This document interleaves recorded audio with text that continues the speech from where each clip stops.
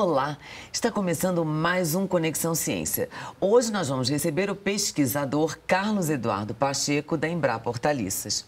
Seja bem-vindo. Muito obrigado por permitir que exponhamos um pouco do nosso trabalho.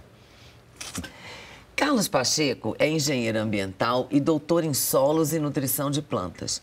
Atualmente, ele desenvolve pesquisas sobre os efeitos das mudanças climáticas e sobre o sequestro de carbono na horticultura, que é o tema do nosso programa de hoje. Fique com a gente porque o Conexão Ciência já está no ar.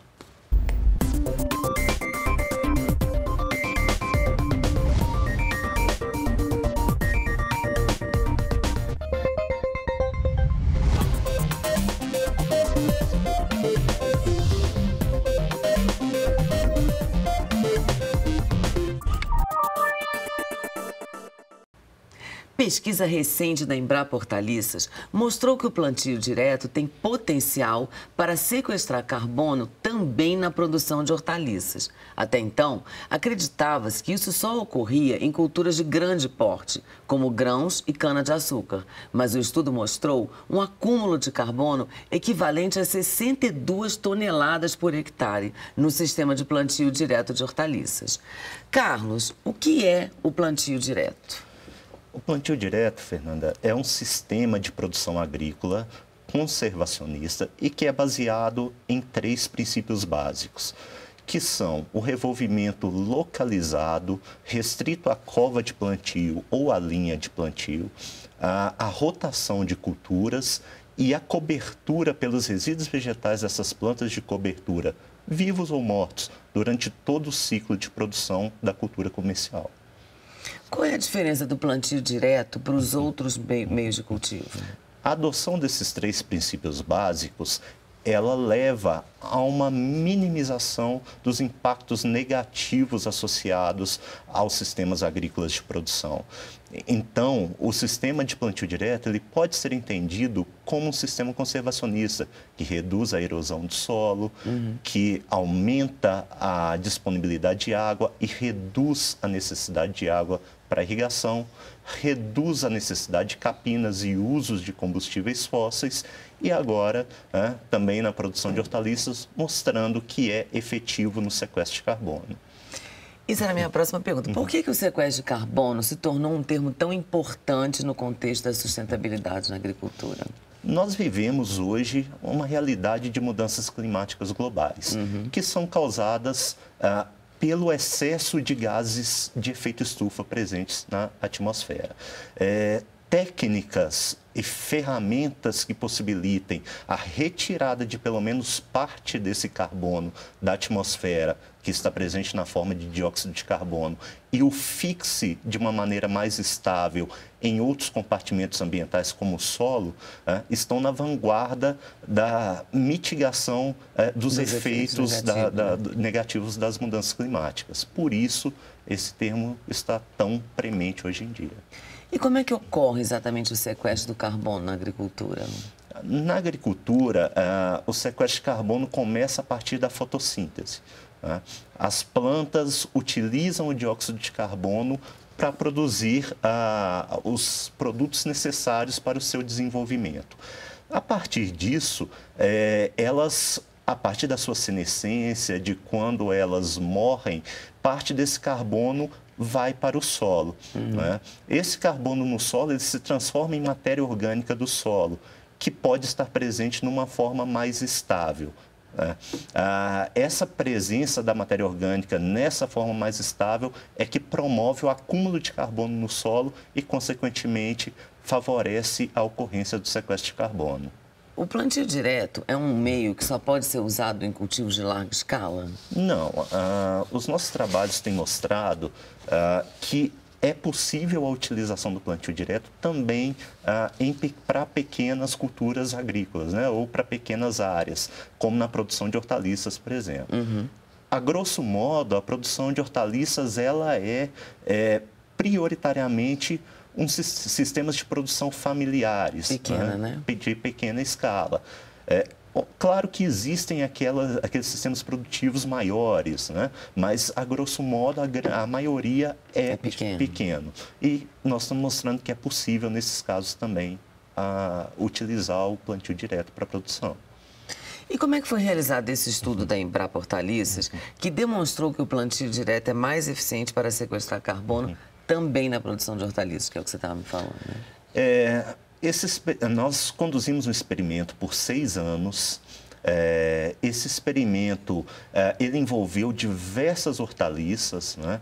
É, ele desenvolveu, ele envolveu as, as culturas da cebola, do brócolis, do repolho, da abóbora, do tomate, entre outras. Uhum. Uh, e a partir desse experimento, onde nós utilizamos também diferentes plantas de cobertura, a saber, milho e um consórcio de milho e mucuna, nós mostramos que ao final do sexto ano, solo que, os solos que estavam sendo manejados no sistema de plantio direto promoveram, uh, apresentaram maiores estoques de carbono do que os solos que estavam eh, sendo manejados com o sistema convencional de produção, uhum. com aração, com gradagem, com revolvimento do solo.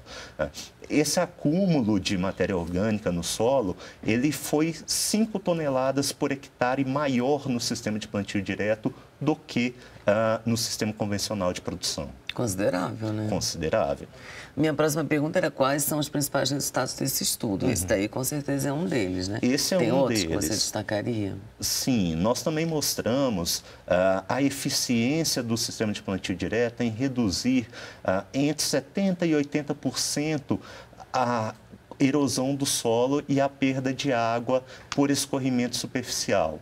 Foi mostrado também que o plantio direto foi mais eficiente do que o sistema convencional em aumentar a fertilidade do solo. E, além disso, mostrou-se ah, a redução da necessidade de irrigação em torno aí de 20% no sistema de plantio direto, quando comparado ao sistema convencional de produção.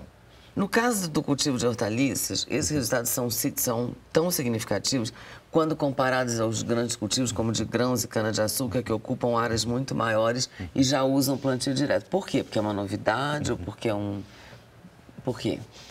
Na verdade, é, tem vários pontos de vista né, uhum. que nós uhum. podemos considerar é, quando da discussão dessa, dessa pergunta. Certo. É, é, é, óbvio que se nós considerarmos apenas o número né, a, nu e cru a uhum. respeito do tamanho da área cultivada com grãos e da área cultivada com hortaliças, o sequestro de carbono, por exemplo, promovido pelo uso do sistema de plantio direto em grãos, é muito superior àquele promovido nas áreas de produção de hortaliças. Claro, uma questão até de tamanho, né? Exatamente. Porém, se nós é, formos avaliar no universo do horticultor, é, ah, tem uma série de benefícios que ali estão ocorrendo, podem ocorrer a partir do uso do sistema de plantio direto, como o aumento da fertilidade do solo, a melhoria da qualidade do solo, a redução da necessidade de irrigação, da necessidade de, de contratação de mão de obra para capina, é, que têm que ser considerados e que têm efeitos, por exemplo, no custo de produção. Uhum. É, e isso tem que ser levado em conta quando claro. Da, de, do entendimento do quanto o plantio direto pode ser benéfico à produção de hortaliças. É verdade, essa, essa economia de água também é uma coisa muito importante, né? Sim, principalmente porque os eventos extremos, tanto de seca quanto de chuva, tendem a se tornar mais frequentes com a ocorrência das mudanças climáticas globais. Já, já estão, né? Já estão. e de que é composta a chamada matéria orgânica e por que ela é tão importante para o solo?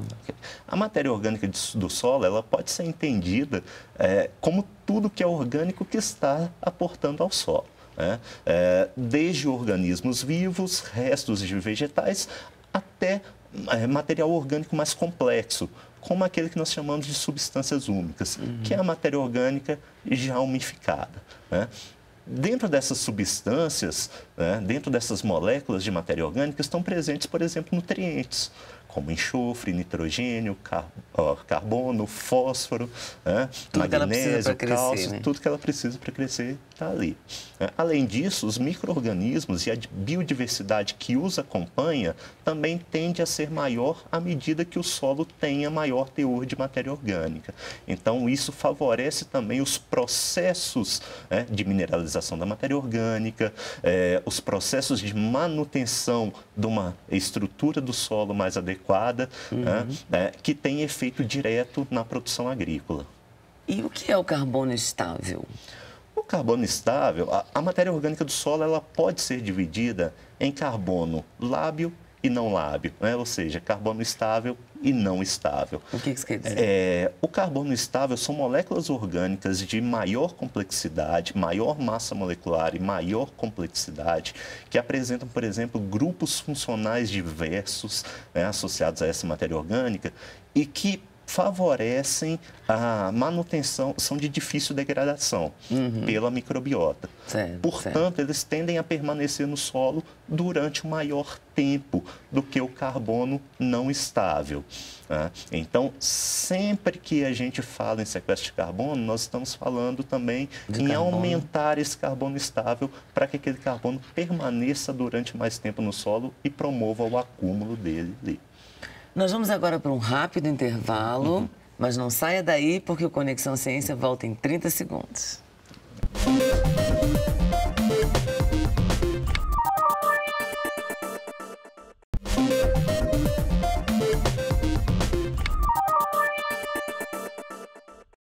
Estamos de volta com Conexão Ciência. Hoje eu converso com o pesquisador Carlos Eduardo Pacheco, da Embrapa, sobre o sequestro de carbono na produção de hortaliças. Carlos, por que, que o carbono estável é tão importante para o sequestro de carbono? Sim, o carbono estável, é, como o próprio nome diz, é aquele carbono que está presente no solo e que é de difícil degradação pela microbiota.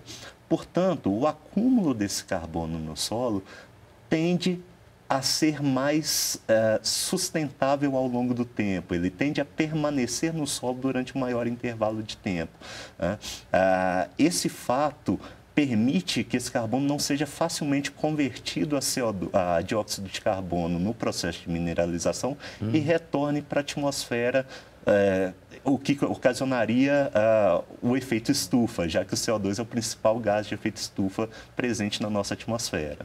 De que modo a palhada orgânica, originada no sistema de plantio direto, favorece o surgimento desse carbono estável? Sim. Uh, na verdade, não existe só uma forma uh, de favorecer o acúmulo do carbono estável. A presença da palhada, ela promove o um maior aporte de matéria orgânica ao solo. Uhum. Esse maior aporte de matéria orgânica por si só já promove um aumento dos processos que levam à formação é, do carbono estável no solo e, consequentemente, é, do acúmulo de carbono. É, porém, a qualidade da palhada também influencia na, no maior acúmulo de carbono estável no solo. É, a literatura mostra, embora nosso trabalho ainda não tenha conseguido mostrar isso para a produção de hortaliças, que consórcios entre gramíneas e leguminosas são mais favoráveis à formação desse carbono estável do que a presença de uma palhada composta somente por gramínea, por exemplo. Uhum. Ah, ah, e algumas plantas de cobertura podem promover maior acúmulo ou não desse carbono estável no solo, resultando em maior é, sequestro de carbono. E qual, qual é exatamente a relação entre solo, carbono e fertilidade? O carbono influencia em muita coisa no solo, né? ah, que no final vai refletir em maior ou menor qualidade é, desse compartimento ambiental. É, por exemplo, a presença de matéria orgânica no solo, ela favorece a formação de agregados mais estáveis do solo. Uhum. Isso, tem, isso tem como consequência a redução das taxas de erosão e tem como consequência a maior infiltração de água no solo, reduzindo a, a, necessidade de água para irrigação. Uhum. Né? Uma outra questão importante é que a matéria orgânica, quando mineralizada, ela promove a liberação de nutrientes que serão utilizados pela planta. A matéria orgânica também é responsável, principalmente em solos tropicais, pela geração de cargas elétricas negativas, né? levando a, ao aumento daquilo que nós em ciência do solo chamamos de capacidade de troca catiônica que é basicamente a presença de cargas negativas no solo, uh, capazes de trocar é, elementos que são é, tem, possuem carga positiva, como magnésio, como cálcio, como potássio, que são nutrientes para as plantas. E por fim, a matéria orgânica ela também pode formar complexos orgânicos com os íons fosfato, uhum. né? é, dificultando a retenção desses íons em solos tropicais que são ricos em óxidos de ferro e de alumínio e que normalmente possuem alta é, afinidade pelo fosfato, né? Prendendo ali fortemente, não tornando disponível para as plantas. E a partir do momento que formam-se esses complexos, é possível que essas formas de fosfato elas se tornem é, mais prontamente assimiláveis pelas plantas, reduzindo, por exemplo, a necessidade da adubação. Então, pelo que eu estou entendendo, me corrija se eu estiver uhum. errada, é, é um processo que se aproxima o máximo possível do que a própria natureza faz, né? do ciclo da natureza. Uhum. São práticas uhum. agroecológicas. A, a, ideia é se aproximar ao máximo é, das funções ecológicas que existem normalmente é, nos solos. Uhum. Né? É, ela pode ser, o sistema de plantio direto pode também ser utilizado como uma, uma prática agroecológica embora é, existam restrições, principalmente quando do uso de herbicidas, ah, né? mas para a formação da, da palhada de cobertura. Porém, é, existem trabalhos já mostrando que é possível se fazer o plantio direto também sem o uso do herbicida, utilizando, por exemplo, é, maquinário adequado para triturar a palhada num nível em que ela não irá interferir é, negativamente na produção da, da, cultura comercial. E quais são os próximos passos agora da, da pesquisa? O principal passo que nós enxergamos a partir de agora é a avaliação de diferentes plantas de cobertura e seus efeitos é, na produção de hortaliças e, claro, em tudo que envolve a qualidade do solo e o aumento da sustentabilidade no sistema agrícola de produção. É, é, nessa primeira etapa do trabalho, nós focamos muito no sistema de produção, certo. no revolvimento ou não do solo. Nessa segunda etapa, nós queremos focar nas plantas de cobertura, se existe compatibilidade ou não com diferentes espécies de hortaliças, né? qual a capacidade que essas plantas de cobertura têm de formar uma biomassa eh, de resíduos vegetais suficientes eh, para se manterem ao longo de todo o ciclo, uhum. qual é a influência disso no sequestro de carbono, né? nas outras questões relacionadas à sustentabilidade que foram mencionadas, né? erosão, redução fertilidade do solo, redução da água, enfim. É, esse é o primeiro ponto em que nós queremos focar. Um segundo ponto que também é muito importante, é, sabe-se que hoje os sistemas de produção de hortaliças utilizam muito é, uma fertilização com altas taxas. Né? Por exemplo, a fertilização nitrogenada. Né? A fertilização nitrogenada é reconhecidamente uma das principais emissoras é, de óxido nitroso para a atmosfera. O óxido nitroso é um gás de efeito estufa que tem cerca de 296 a 300 vezes maior potencial de causar efeito estufa do que o CO2. Né? Ah, nós precisamos entender se o plantio direto possibilita também a redução é, dessa, dessa necessidade de adubação nitrogenada e se isso tem efeito sobre, a, sobre as emissões atmosféricas de N2O. Uhum. Né? Ah, esse é um passo também necessário, principalmente no que tange respeito ao sequestro de carbono, que é o tema é, da nossa conversa, Fernando. E no que consiste. Bom, obviamente isso aí é um, um, serviço ambiental também, né? Sim. No que consiste exatamente a prestação de serviços ambientais? A prestação de serviços ambientais nada mais é do que o pagamento, uhum. ou o recebimento, nesse caso, para alguém que está prestando, é, por adoção de técnicas ou de práticas que levem a resultados positivos naquilo que a natureza normalmente faz. Uhum. Né? Então, por exemplo, existem hoje em algumas bacias hidrográficas o pagamento por produção de água, né? é, onde agricultores ou outros usuários né, é, do sistema recebem incentivos por adotarem técnicas como reflorestamento, o próprio plantio direto ou outras práticas que permitam maior infiltração de água no solo e menor perda de água uhum. né, do sistema. É, da mesma forma, existem algumas, alguns sistemas de produção é, que já são passíveis de recebimento por créditos de carbono, o que não é o caso do sistema de plantio direto. Né? Mas existe um programa hoje em vigor é, no, no Brasil, chamado de Programa Agricultura de Baixa Emissão de Carbono, uhum. que é um programa que visa é, fornecer principalmente incentivos é, fiscais é, para produtores agrícolas que adotem práticas que reduzam as emissões atmosféricas de gás de efeito estufa, é, promovam maior acúmulo de, de carbono é, no solo ou utilizem técnicas de adaptação às mudanças climáticas. Né? É, dentro desse programa ABC, o plantio direto está contemplado. É isso que eu ia te perguntar. Como é que é a aceitação dos agricultores, dos produtores, dos horticultores, né? Uhum. Em relação a essas técnicas de plantio direto, eles aceitam bem? Nós ainda estamos no começo uhum. né, dessa transferência de tecnologia é, relacionadas ao sistema de plantio direto, é, para hortaliças especificamente. É, naquelas regiões onde nós já estamos trabalhando, a aceitação tem sido boa. Né? Embora a dinâmica da produção de hortaliças dificulte a adoção em longo prazo. Por né? quê? Porque a dinâmica de produção de hortaliças é normalmente, culturalmente, de um ciclo de hortaliças em cima de outro ciclo de hortaliças. Aquela terra é intensivamente utilizada para a produção. Uhum. E não necessariamente a mesma cultura vem sendo sempre é, cultivada. Então, exige uma mudança cultural aí, porque a hortaliça ela tem que ser sucedida por uma planta de cobertura que não é uma hortaliça. Que vai ser uma planta, ah, um investimento em longo prazo na melhoria da qualidade do solo daquele agricultor. Quando se entende esse aspecto, a aceitação ela tem sido boa. E aí os efeitos positivos, eles não vão ser sentidos só no curto prazo.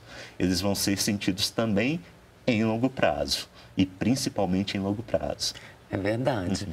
É, você me falou que estão iniciando né, uhum. a transferência dessa tecnologia. Uhum. Já está já tá sendo feita? Já está. Sim, nós já tivemos um projeto uh, que visou a transferência dessa tecnologia de plantio direto é, para a produção de hortaliças é, em regiões serranas do Sudeste brasileiro. Uhum. Esse foi um projeto que foi conduzido após é, toda aquela tragédia que ocorreu no estado do Rio de Janeiro em 2011. É, é, foi um projeto em parceria não só da Embrapa Hortaliças, mas também um projeto conduzido em parceria com a Embrapa Agrobiologia, a Embrapa Solos, a Emater Rio e outras unidades da Embrapa né, que, uhum. que demonstraram é, interesse. É, foi um projeto com resultados bem interessantes né, naquela região, muitos cursos ministrados, muitas palestras, é, um material didático voltado para esse público desenvolvido e que hoje pode facilitar e muito a nossa continu a continuidade do nosso trabalho, não só para aquela região, mas também para outras que têm interesse é, no uso da tecnologia. Era isso que eu ia perguntar. Vocês estão transferindo essa tecnologia só para o Distrito Federal? Não, né? Já está sendo transferida para outras regiões, para o Sudeste? É, é, esse trabalho com o sistema de plantio direto, ele tem início até anteriormente à minha chegada na Embrapa. Uhum. É, ele tem início lá em 2003 na Embrapa, é, com os trabalhos de um colega, o doutor Nuno Madeira. Mas com hortaliças? Com hortaliças. Né? É, e, esses trabalhos, eles já vêm desde essa época transferindo tecnologia para diversas regiões. Né? É, o estado de Minas Gerais já recebeu capacitação, é. o estado do Rio de Janeiro, o estado do Espírito Santo, é, o sul do Brasil é, tem sido trabalhado a, a parceria é, com a EPAGRE, que é uma instituição que já tem esse processo até é, um pouco mais avançado do que o nível que nós estamos para a região de Cerrado né, e, e, que nós estamos é, no, no, trabalho agora. É, então, esse, esse processo de transferência ele acompanha a todo momento o processo de pesquisa em que nós estamos desenvolvendo. Muito obrigada pela sua entrevista e parabéns pelo seu trabalho. Obrigado, Fernanda. Eu que agradeço mais uma vez pela participação é, e me coloco à disposição aí para é, futuros esclarecimentos e futuras participações. Com certeza. E o Conexão Ciência termina aqui. Confira os dias e horários das reprises na página da EBC ou da Embrapa na internet. O programa também está disponível no canal da NBR no YouTube. Obrigada pela companhia e até a próxima semana.